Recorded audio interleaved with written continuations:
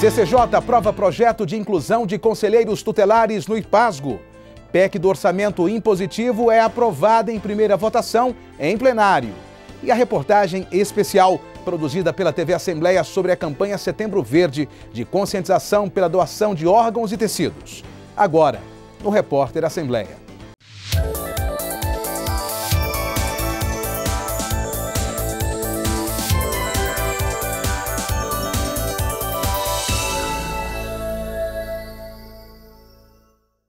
A CCJ, Comissão de Constituição, Justiça e Redação, aprovou nesta terça-feira projeto de autoria do deputado Carlos Antônio, que trata da inclusão de conselheiros tutelares no IPASGO.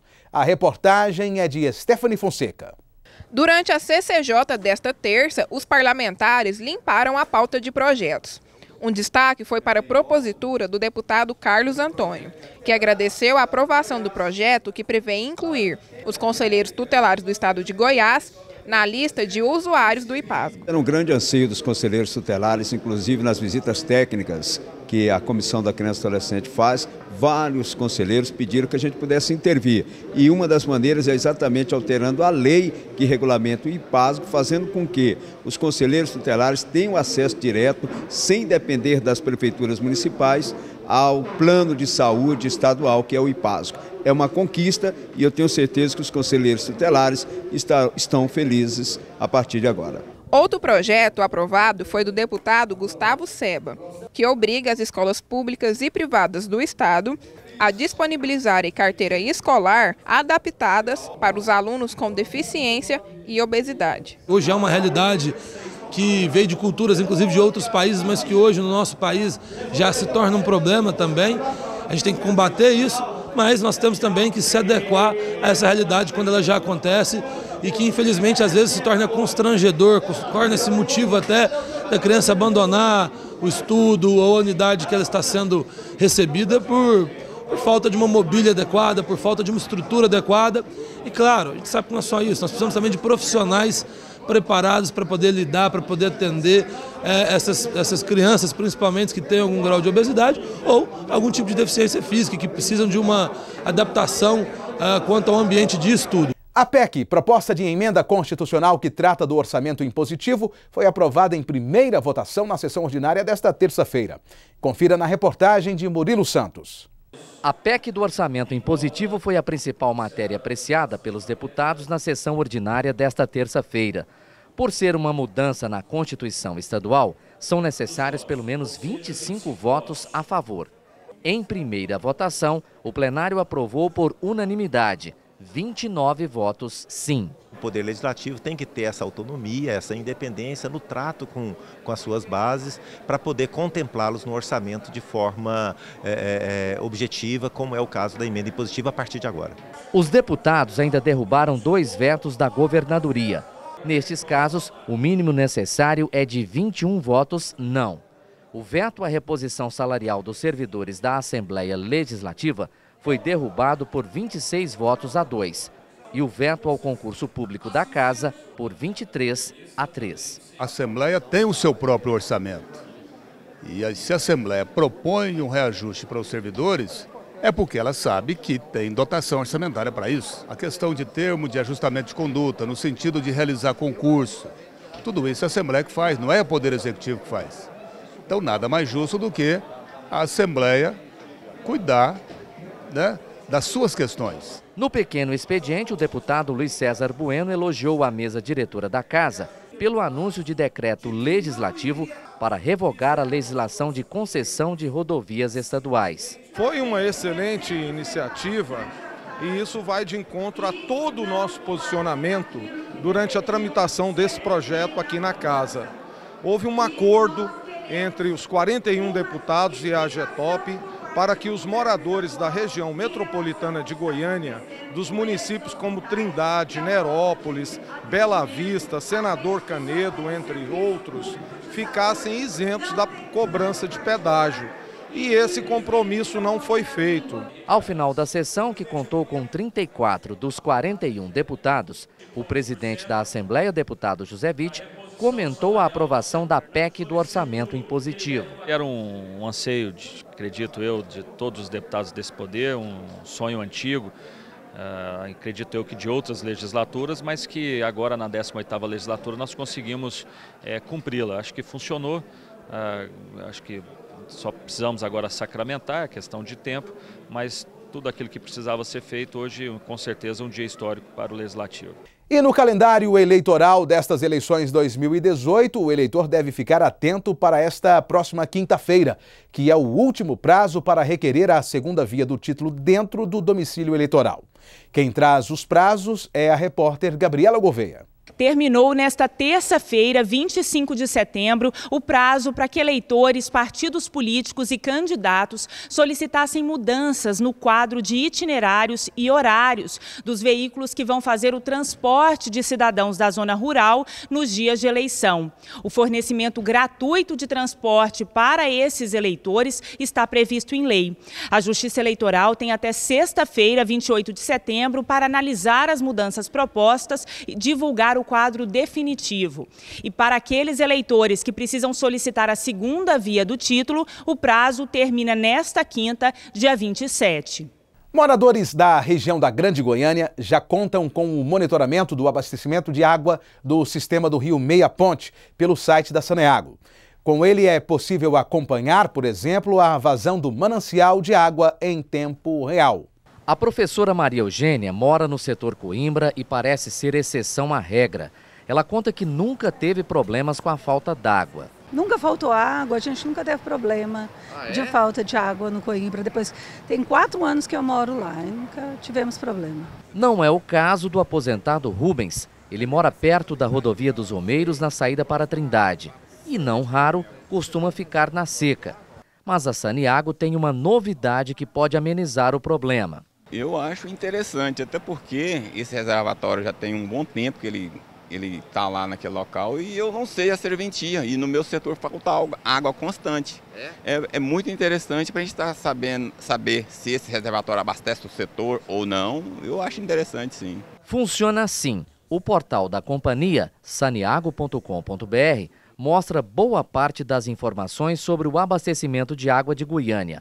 Em tempo real, você pode conferir a vazão do rio Meia Ponte e ainda o nível dos reservatórios espalhados pela cidade. Essa sala é mais uma inovação que a Saneago proporciona a todos os usuários, a toda a população, do monitoramento real de como está o manancial de abastecimento público Meia Ponte e os reservatórios que fazem esse abastecimento pela região que o sistema Meia Ponte atende, as cinco regiões que são compreendidas. Então, ele pode, em tempo real, monitorar e verificar como está o seu abastecimento e também fazer, trazer as informações para seu, o seu lar, né, juntamente com a sua economia de água, o seu uso consciente, para que e sua, o seu reservatório domiciliar para que tenha essa regularidade garantida. Jesus aprovou a novidade. Ele mora na Vila Pedroso, região leste de Goiânia, e tem um reservatório perto da casa dele. A gente tem que saber o que está acontecendo, né? sobre o nível da água, é, que é reservatório de água, tem que saber direitinho o que está acontecendo no nosso, nosso, nosso lago, né? nosso dia a dia, a água que a gente usa. Ajuda até a economizar? Demais. É uma boa essa prestação de serviço, então. Ótimo. Para Josimar, a informação em tempo real principalmente da situação dos reservatórios, pode contribuir para a precaução do consumidor quanto ao uso da água. No caso, você vai poder acompanhar é, a quantidade de água que tem para o seu setor. Se vai faltar, se não vai faltar, né? Então, é bom que você pode pre se preparar, se programar no caso de falta de água, né? Acho que a informação sempre é bem-vinda, né? E os consumidores goianos têm nova ferramenta para monitorar preços dos combustíveis aqui no estado é o aplicativo Olho na Bomba, que divulga os valores praticados nos postos. A iniciativa foi elaborada pelo Ministério Público em parceria com a UFG. O Ministério Público, juntamente com a Universidade Federal de Goiás, criou um aplicativo que divulga os preços dos combustíveis. De acordo com o desenvolvedor do projeto, o dispositivo facilitará aos consumidores a escolher o melhor preço no posto mais próximo? Primeiro, ele empodera a população e coloca todos na, numa parte de fiscalização. Segundo, porque dá um conhecimento, na verdade, entrega uma informação que faz a, o cidadão em si economizar e também fomenta toda a questão do, do mercado em si, da concorrência dos postos de combustível. Além disso, na parte de pesquisa, também é importante para nós, a universidade, entender e poder analisar dados para que a gente possa aplicar também a outros mercados que podem ter o mesmo tipo de problema hoje. O integrante do Ministério Público explica como funcionará a plataforma no que tange a área da fiscalização. Percebendo que o preço apresentado pelo aplicativo é distinto do preço praticado na bomba, basta que o consumidor leia o QR Code que está inserido na nota fiscal. Fazendo isso, fica tudo fácil. O Ministério Público vai receber essa denúncia formulada pela leitura do QR Code, vai ter acesso então à segunda via daquela nota fiscal e aí é só comparar o preço que está na nota fiscal com o preço que foi informado pelo posto no olho na bomba. Constatando a divergência, os autos já serão encaminhados para o PROCON Goiás para aplicação da punição prevista na lei estadual. Notem que isso vai acontecer sem nenhum custo de dinheiro público e sem a presença de nenhum fiscal. O consumidor, aliás, será o nosso grande fiscal. De acordo com o titular da Delegacia Estadual de Repressão a Crimes contra o Consumidor, DECOM, o aplicativo permitirá que o usuário auxilie os órgãos de fiscalização por meio da denúncia. Sempre que detectar algum tipo de fraude ou algum tipo de lesão ou abuso no que se refere a essas questões, tanto envolvendo valores de combustível, tanto ah, com relação à qualidade de combustível, a questão de quantidade, que é aquela situação em que ele venha desconfiar que a quantidade colocada no tanque seja menor do que aquela que ele efetivamente pagou. Questões tributárias também. Nós temos o telefone 197, denúncias, denúncias anônimas, e o 3201 1529, que é o telefone da Delegacia do Consumidor. Essa ferramenta, especificamente, apresentada hoje pelo Ministério Público, é mais um mecanismo que vem a facilitar a nossa integração com o Ministério Público a fim de resguardar os direitos dos consumidores. O aplicativo Olho na Bomba permitirá ao consumidor fiscalizar o preço dos combustíveis. Caso o preço na hora do abastecimento esteja diferente do divulgado na plataforma, o consumidor pode denunciar o posto através do QR Code presente na nota fiscal. Vem para auxiliar a gente né, nessa luta contra os preços altos e abusivos. Um aplicativo bom e que todos possam usar da melhor forma possível, né? Que esteja atento sempre ao melhor preço e à qualidade também do combustível. Para o presidente do Sindiposto, a ferramenta traz benefícios para a população, porém, considera como fiscalização em excesso sobre o segmento. Nós somos totalmente a favor da transparência. Com relação à vida do empresário, é que complica, porque ele é obrigado a fazer, sujeito a multas pesadíssimas, é mais um encargo para ele, mais uma atividade para o negócio dele, onde ele tem que ter atenção, onde ele pode errar e ser punido por isso. Então, essa obrigatoriedade é que tem causado a indignação da revenda. Confira agora uma matéria especial produzida pela TV Assembleia sobre este Setembro Verde mês escolhido para conscientizar as pessoas sobre a doação de órgãos e tecidos. Vale destacar que neste próximo dia 27 de setembro é o dia da campanha nacional.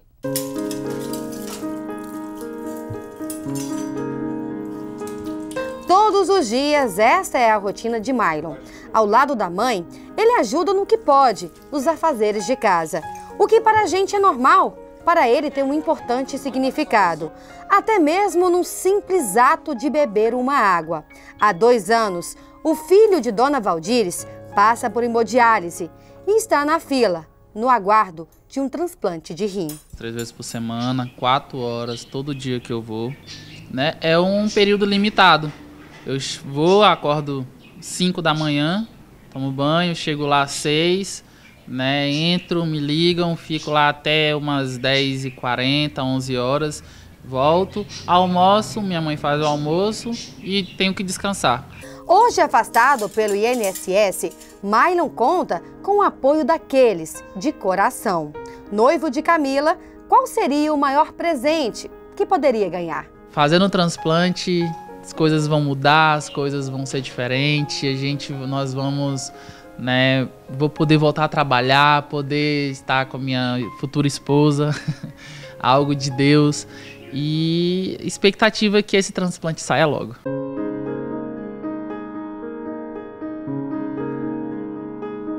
Como Mylon, cerca de 233 pacientes ativos estão na fila de espera de um transplante de rim em Goiás. A doação de órgãos para eles é fundamental.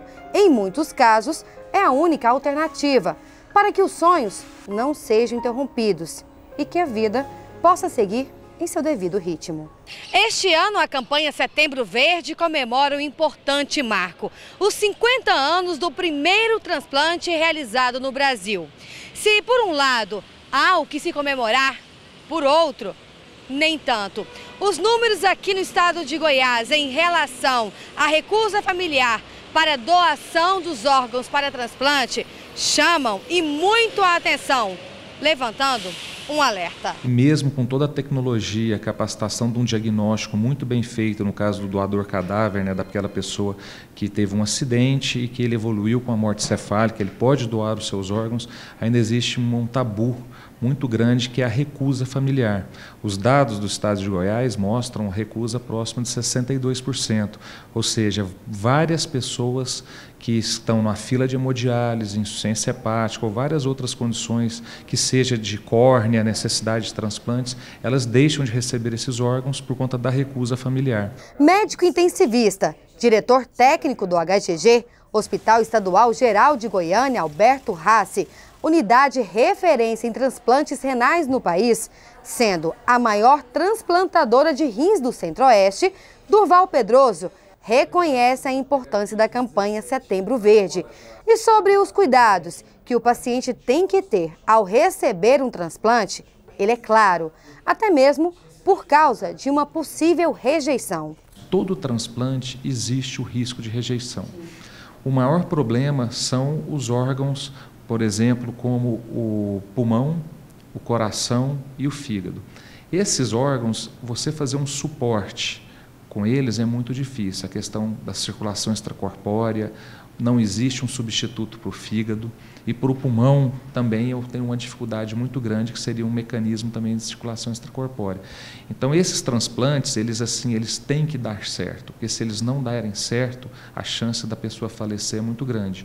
O rim, quando não dá certo, a pessoa volta para a hemodiálise e pode ter uma segunda chance, uma terceira chance. No HGG encontramos Adriana, uma jovem de 29 anos, que está em seu segundo transplante de rins.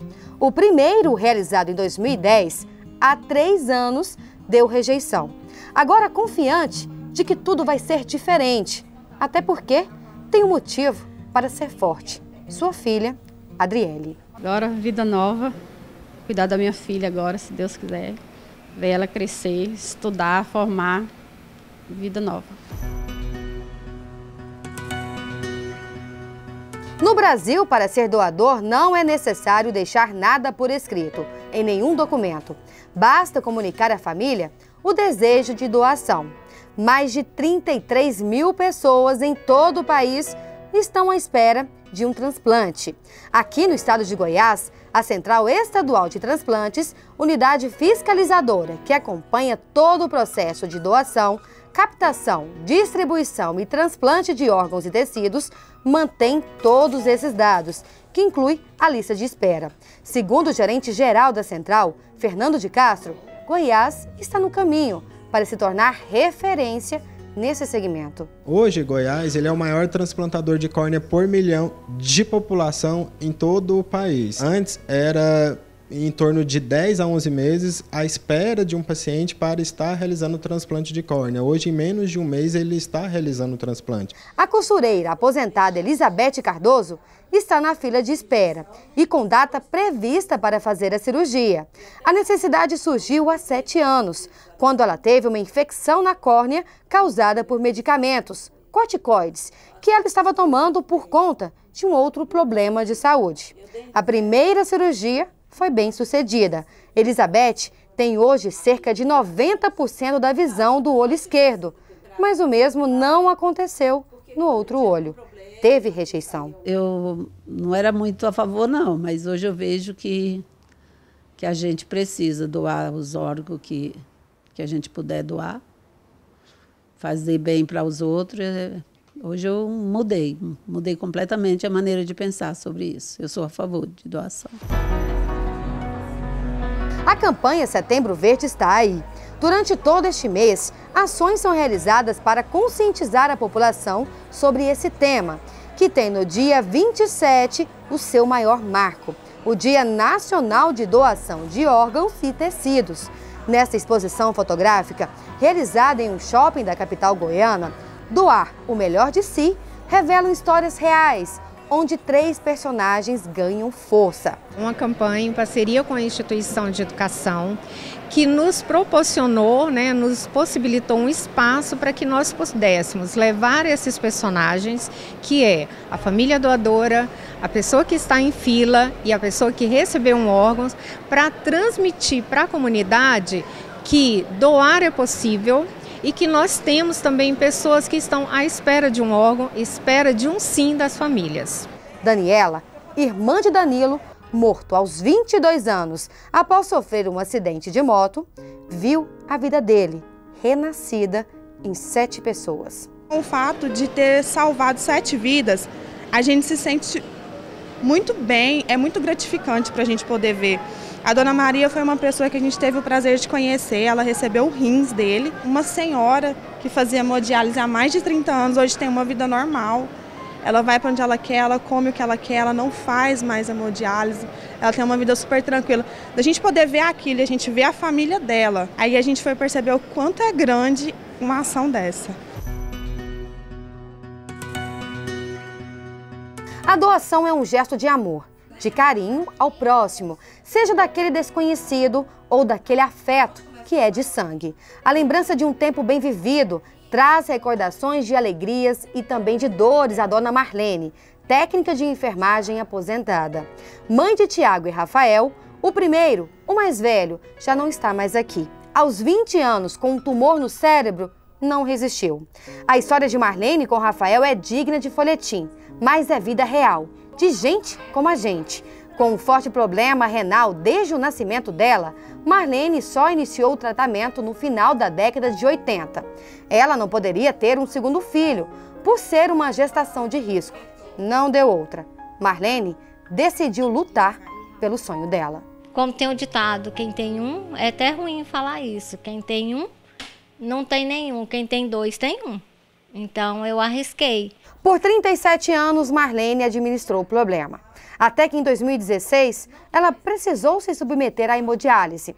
E vejam, se um dia Dona Marlene lutou com todas as forças para ser mãe novamente, hoje é o filho dela que luta por ela. A determinação desses dois é motivadora e dá um forte sentido ao conceito da palavra família. Eu dei a vida a ele e ele me devolveu a vida. Como que surgiu isso dentro de ti, dentro do seu coração, de que era o momento de ajudar sua mãe? Foi pelo tá acompanhando esses trem, sabe? Quem acompanha sabe o que é a vida de hemodiálise. Esses trem eu acho que é o mínimo que um filho pode fazer também pela mãe. Agora tem mais um pedacinho dele aqui dentro de mim.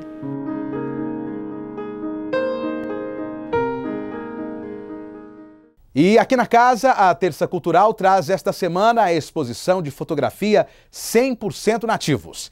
A abertura oficial foi realizada no saguão do Palácio Alfredo Nasser. Quebrar a resistência à cultura indígena e trazer uma integração entre os povos. Este é o principal objetivo da exposição 100% Nativos, que apresenta imagens de diversas tribos feitas durante evento indígena no Memorial Serra da Mesa, em Uruaçu. O responsável pela mostra é o jornalista João Carlos Barreto.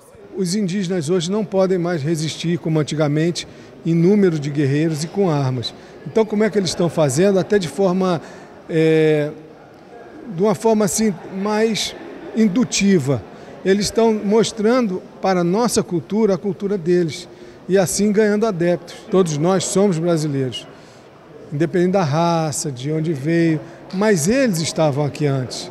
Então eles são 100%. Este servidor da Assembleia considera que exposições como esta auxilia de fato no resgate da cultura indígena. Nós temos um débito com a população indígena.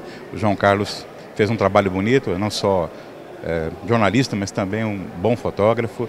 E é muito bom ver o Goiás é, devolvendo um pouco do espaço dos índios, afinal, além de fazer parte da nossa cultura, faz parte das nossas famílias. Eu tenho três filhos com traços indígenas. Gostei demais. Para a deputada delegada Adriana Corse, a exposição é uma forma de aprender e manter a cultura brasileira. É uma exposição fotográfica relatando a vida de várias aldeias aqui da nossa região, do Cerrado. E o mais interessante é que ela é voltada para os estudantes, né? Ela está, estamos convidando as escolas, os estudantes para estarem aqui aprendendo um pouco mais e mantendo né, o conhecimento da nossa nação sobre os nossos povos antepassados. Então é muito importante e é, é também um reconhecimento ao jornalista João, que é um apaixonado pela cultura é, brasileira, pelo regionalismo e pelo cerrado. Então é uma exposição muito bonita e a gente convida a todos para estarem aqui prestigiando. A exposição 100% nativos de João Carlos Barreto vai ficar exposta aqui no saguão da Assembleia Legislativa até o próximo dia 5. E esta edição termina aqui. Continue com a nossa programação e até o próximo Repórter da Assembleia.